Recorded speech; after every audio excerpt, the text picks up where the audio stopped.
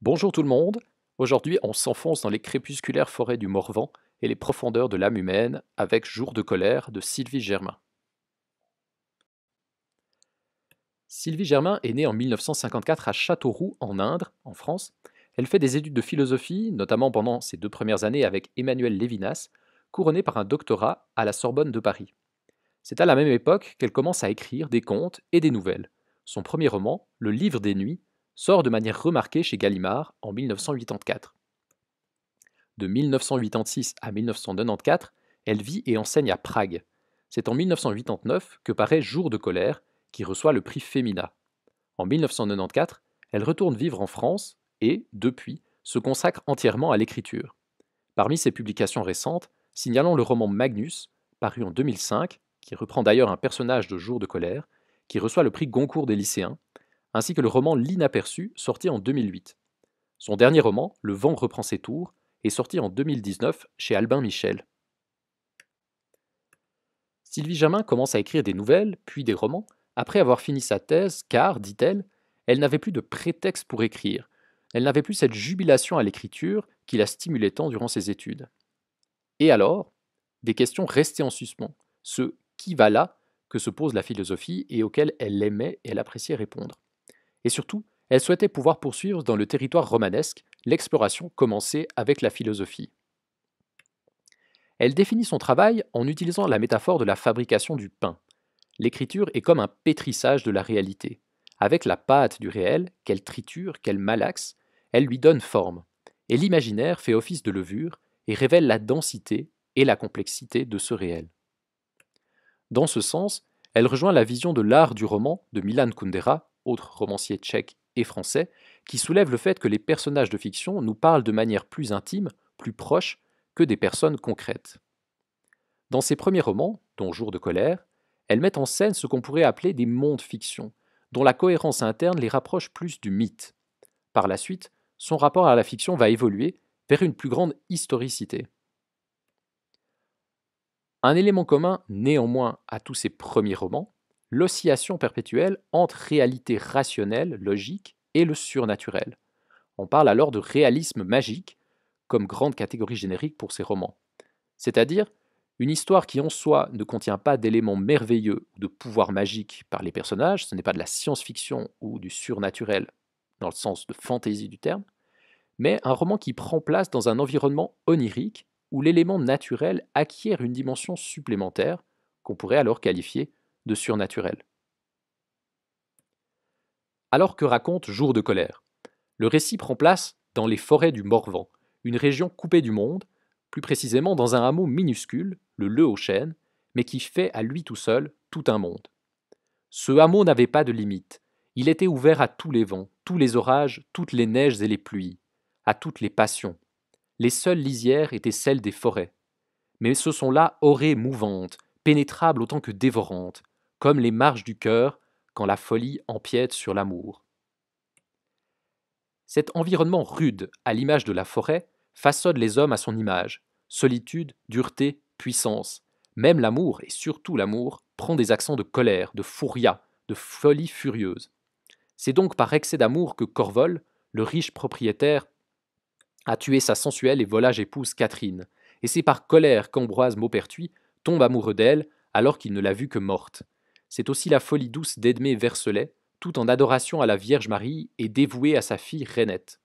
Et ce sont leurs enfants respectifs qui seront emportés, ballottés, par ces pulsions, comme les rondins de bois que ces familles de bûcherons font flotter dans la rivière.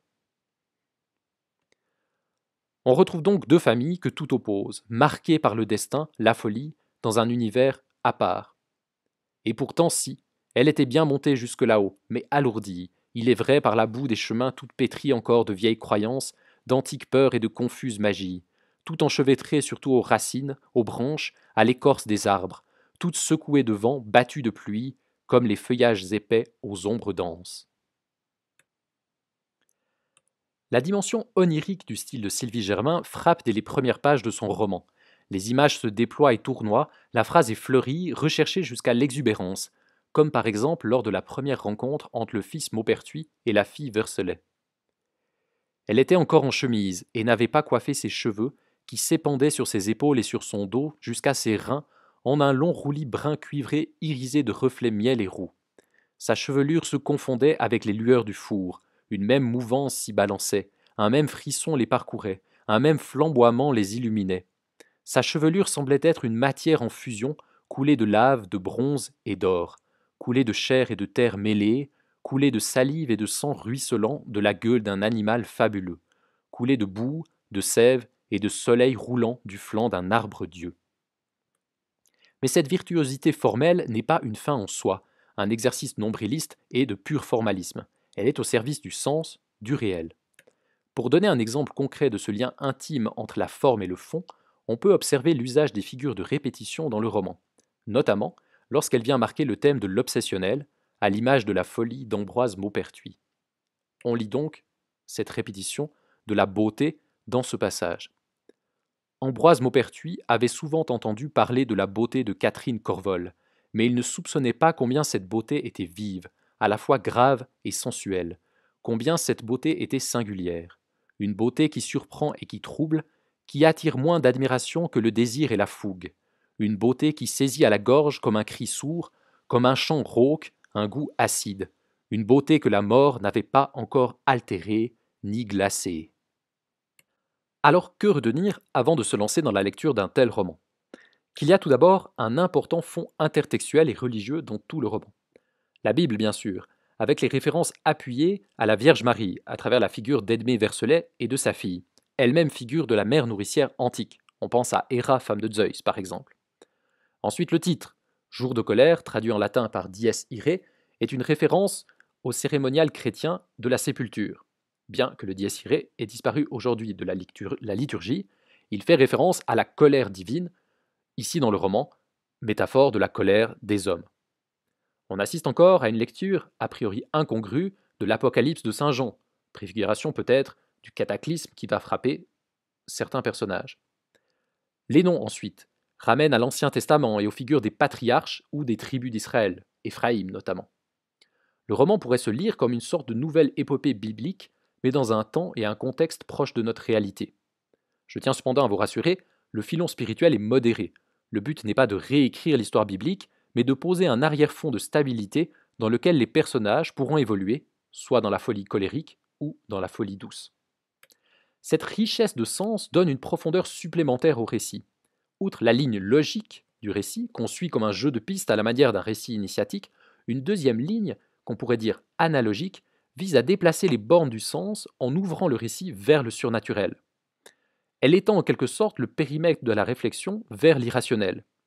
D'où une hybridation des superstitions, des légendes, des contes, des fables, des mythes, qui ravivent chez le lecteur un principe de compréhension presque archaïque. Loin de tout nihilisme, on se reconnecte à une forme primordiale, une forme de genèse. En quelque sorte, la boucle est bouclée. Ce n'est pas pour autant un retour vers la fiction classique.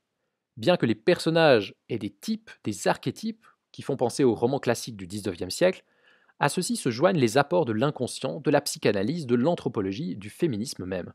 Une manière de concilier l'ancien et le nouveau, de questionner les modèles et de les réévaluer. Où donc pourrait se situer la finalité d'une telle littérature On peut d'ailleurs constater qu'elle entre en résonance avec les préoccupations littéraires et esthétiques d'autres contemporains, d'autres auteurs que nous aurons l'occasion de découvrir, comme Pierre Bergogneau ou Jean Echenoz.